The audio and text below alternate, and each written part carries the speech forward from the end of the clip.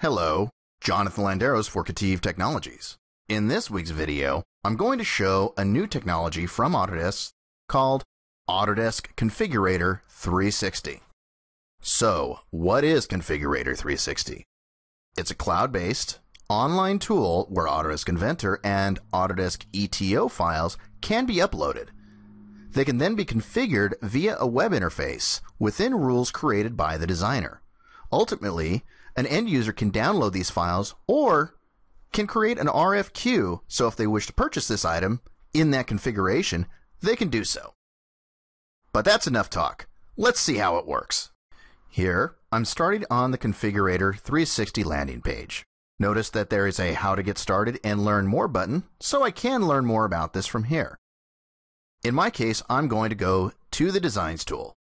And here I can upload a new design by clicking the New Design button. I can give this assembly a name.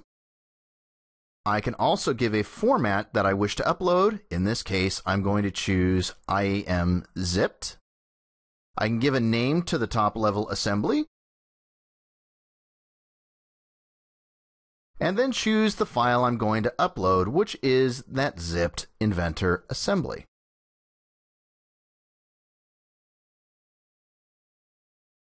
Choosing Upload, Configurator 360 will now go ahead and upload the file.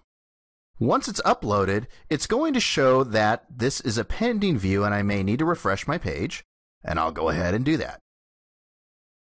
Now, it's gone ahead, it's refreshed, and I can see the link where I can find that file. I can also choose to edit it.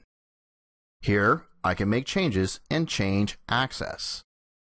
For example, I may wish to go to unrestricted viewing.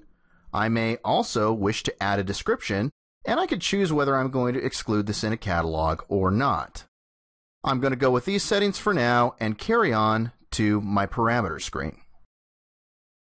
Now that I'm in my parameter screen, I can change the display name, the units, any initial values, set a minimum or maximum value for a parameter, state whether parameter is read-only or not, and then finally, DOP is display of precision. So how precise do I want to make this particular parameter?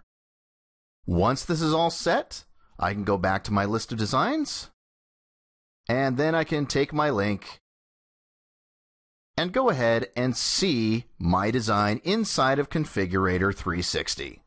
Now that the file is open in Configurator 360, I can change any values I want, see the updates on screen, and also download any of the files in the formats that I see where I'm moving my cursor right now. So there it is, taking a design, putting it in Configurator 360, and then changing it and downloading it as well. So that's it.